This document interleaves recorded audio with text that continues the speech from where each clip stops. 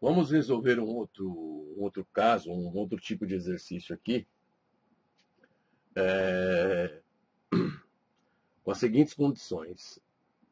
O fluido é água, né? E foi dado volume específico, que é de meio metro cúbico por quilo, com uma pressão de 300 kPa. Tá? Então, o que, que nós vamos fazer? Nós vamos primeiro procurar a tabela de água em função da pressão, que foi dada aí a, a pressão de 300 kPa. Então, aqui na, no, Van Willen, nós encontramos aqui a pressão de 300 kPa, está aqui, ó, 0,3 0,3 megapascal. Cuidado com essas unidades, tá? Então ele está dando uma temperatura de saturação de 133,55 graus Celsius. Um volume de líquido de 0,001073 metros cúbicos por quilo. E um volume de vapor de 0,6058 metro cúbico por quilo. Então, nós vamos pegar esses valores que nós obtivemos aqui da tabela. Tá? Então, nós sabemos aí que foi dada a pressão. Essa pressão é, na tabela trouxe os valores de temperatura. Então, vou anotar aqui ó, o que, que nós obtivemos da tabela. Né? Então, lá na tabela, nós encontramos uma temperatura de cento e trinta e três vírgula cinquenta e cinco graus Celsius. Ainda um volume de líquido de zero vírgula zero zero dez setenta e três metros cúbicos por quilo e um volume de vapor de 0,6058 metro cúbico por quilo. Observa aqui, como esse cara é abaixo desse cara, né, ele ainda não saturou. Então ele tem uma mistura ali de líquido mais vapor. Agora precisamos saber quanto tem essa, essa mistura, né? Porque ele, tá, ele, vai se, ele vai se saturar com a temperatura de 133,55 graus Celsius. Então, com isso, nós podemos determinar o título. Como que a gente vai determinar o título? Formulinha ali do volume, né? O Vzinho é quem? É o VL 1 menos X mais Vzinho V vezes o X. Então, esta formuleta aqui, que envolve volume.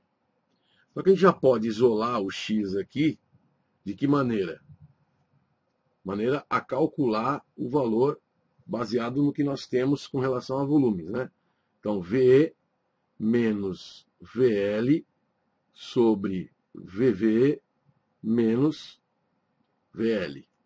Tá? Então, já estou isolando aqui a equação de forma a gente calcular o título. Você pode trabalhar direto com essa equação aqui.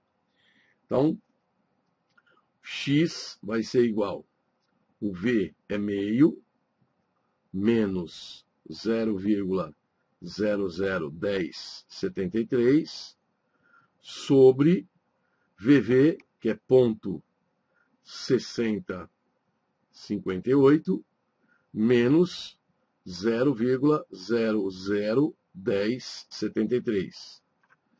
Isso aqui, já calculei, está dando um título de 0,8 825. Então, quer dizer, tem um vapor aí com uma qualidade de 82,5%.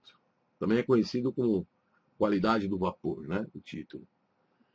Então, com isso, nós já determinamos essas condições, nós podemos construir um, um gráfico, né?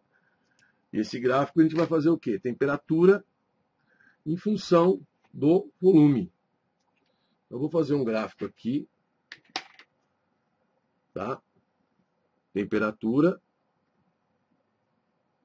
em função do volume. Então aqui eu tenho a curva.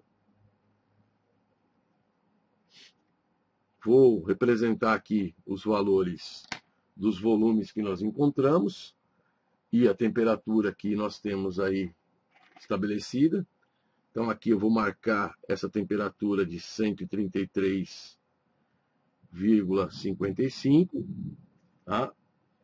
É, é uma, tem uma isobárica atuando aqui. Então eu vou fazer uma representação aqui. Eu vou ter uma isobárica. Vai passar por esse ponto. Temperatura constante. Tá? E aqui eu tenho uma pressão de 300 kPa. Então, a representação que eu tenho que fazer é dessa maneira. Tá? Então aqui ele representa a pressão, nessa isobárica aqui. Neste ponto, eu tenho lá um volume de 0,001073. Neste ponto, eu tenho um volume de 0,00 6058. Nosso enunciado trouxe um valor que ele está com meio metro cúbico por quilo. Então ele está próximo deste ponto aqui, ó. Tá? Então aqui seria o nosso volume específico dado, que apresenta aí um título de 0,825. Então agora as coisas começam a ficar mais claras com relação a propriedades termodinâmicas, né? utilizando essas tabelas.